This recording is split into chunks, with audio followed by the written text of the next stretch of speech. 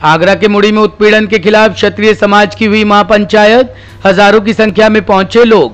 महापंचायत को रोकने के लिए पुलिस ने लगाई धारा 144 करीब 250 लोगों को जारी किए गए लुकआउट नोटिस।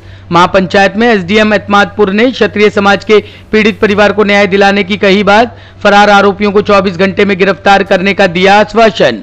आगरा ज़िले के थाना कंदोली क्षेत्र के अंतर्गत बीते दिनों क्षत्रिय समाज के परिवार पर दूसरे समाज द्वारा किए गए उत्पीड़न के खिलाफ रविवार को एक महापंचायत का आयोजन किया गया।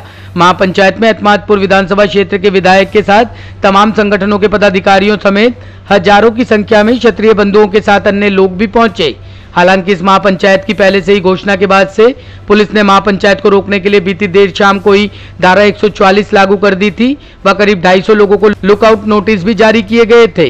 रविवार को हुई इस महापंचायत से पहले ही पूरा खंदोली क्षेत्र छावनी में तब्दील हो गया। भारी संख्या में चारों ओर पुलिस की मुस्तैदी दिखाई दी।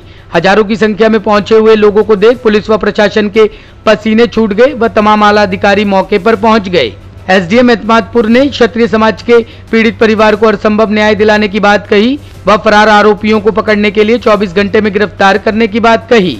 इसके बाद पंचायत में मौजूद लोगों ने एसडीएम को ज्ञापन भी सौंपा।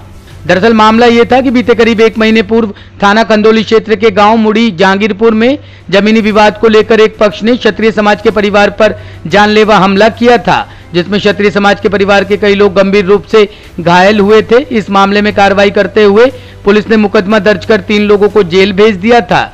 लेकिन वही पीड़ित परिवार के लोगों का कहना था कि जो मुख्य आरोपी मुकदमे में नामजद किए गए हैं, उन्हें पुलिस गिरफ़्तार नहीं कर रही। इसके लिए पीड़ित परिवार ने क्षत्रिय नेताओं के साथ मुख्यमंत्री योगी आदित्यनाथ की चौखट पर भी न्याय की गुहार लगाई, लेकिन फिर भी उनकी कोई सुनवाई नहीं हुई।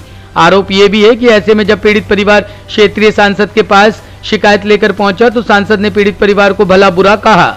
और वहाँ से भगा दिया। इसके बाद पीड़ित परिवार ने न्याय न मिलने पर महापंचायत का ऐलान किया। टॉप स्टोरी ब्यूरो के लिए आगरा से आकाश जैन की रिपोर्ट।